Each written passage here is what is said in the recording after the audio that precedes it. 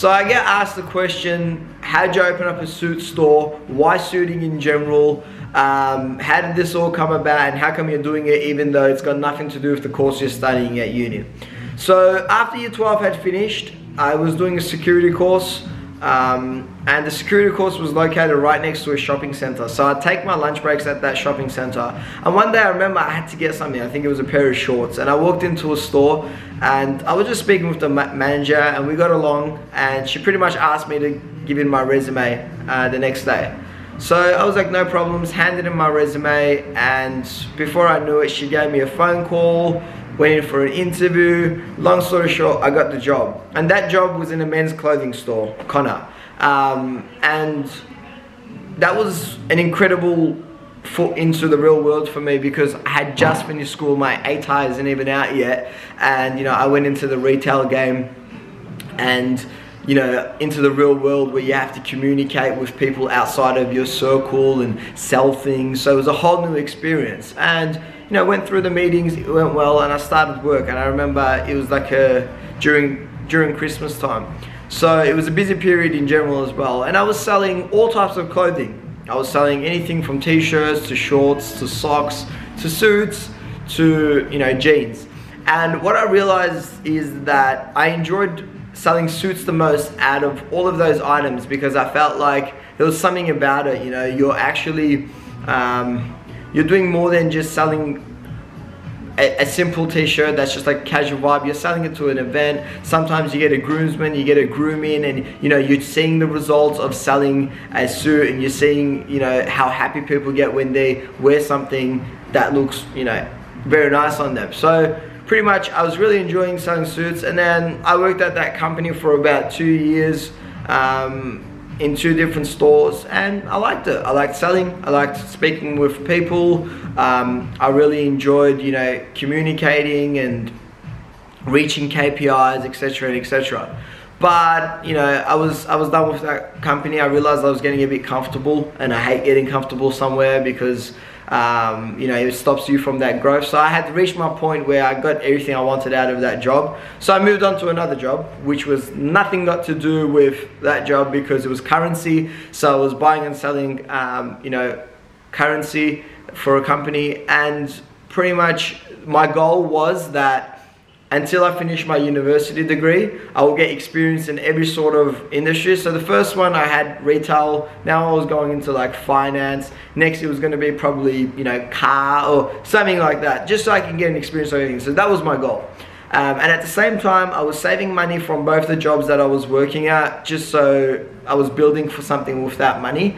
Complete, completely different. It was for a house and like I was just saving up some money. So I worked at you know, the clothing store and the currency at the same time for a long time whilst also doing security at night Um, and then after I left uh, the clothing store, I worked in like a perfume store, I worked everywhere, you know, I was doing pretty practically anything and I was working as security as well, just, you know, getting that money um, and saving up as much as I can. And then one day I remember I was studying for a uni exam and I just had like an epiphany. So I just had a moment where I was thinking that I needed a suit, but I'm so bored of the usual traditional way of buying a suit, which is going to a shopping center every single time and seeing what's there and walking out with it. I wanted something for me. I wanted something personalized. But whenever I was on the internet looking for these alternatives, um, it, there was a very hefty cost associated to it. So um, I was like, look, I can't afford that. I don't know when I would actually be able to afford that. And the reason why that cost is associated is because they're offering a service which is made to measure, which means that practically you walk in there, you choose the fabric swatches, um, and you choose, you know, the lining and the buttons, and then they create that suit for you from the beginning and obviously that process is a long process it's harder it takes a lot of time hence why you know it's got a high costs associated to it. Especially if you want to get something done well um, you do want to pay that amount so you get that result. Takes six weeks and I was like look I'm never gonna be able to afford that but I'm still not happy with the traditional way of suiting. I'm like what if there was a place whereby the suits are already there however they're tailored to you and you don't pay extra money for that alteration service right? Because every day in, in, in the store that I used to work at, we used to sell suits that um, are the closest to your body shape, but we all come in different shapes and sizes and forms, and it's not perfect for you. But with adjustments, you can make the suit completely different. Like you can make it perfect and you'd love wearing that. You'd get so much more wears out of it. And you know, instead of paying like for a cheap suit, um, getting one wear out of it, you can get a suit that you paid a bit more for. However, it's just something you want to wear all the time. You feel comfortable in it. You feel confident in it. So I was like, what if there was something like that? I don't want to walk into like I don't want to walk in somewhere and you know I know I need to get my jacket sleeves shortened. I know I need to get my pants tapered and shortened. But when they tell me it's going to cost me an extra 150 bucks to do, and you know and they're not confident in doing the tailoring and stuff. So I don't want to come across that. What if there was a place like that? So that's where the idea was born out of and I was like, I can do that. And I remember just sitting, I was like, this is like the greatest idea. And I took a break from studying and I went to the kitchen um, and I was just like, I have a fantastic idea. This is whatever.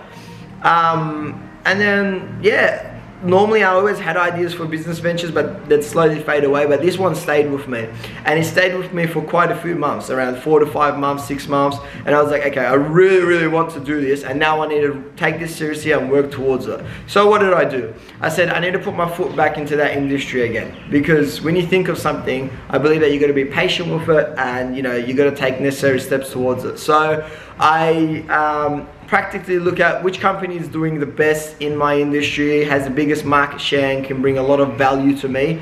Found that company, applied to them and worked there for a matter of nine to 10 months after that.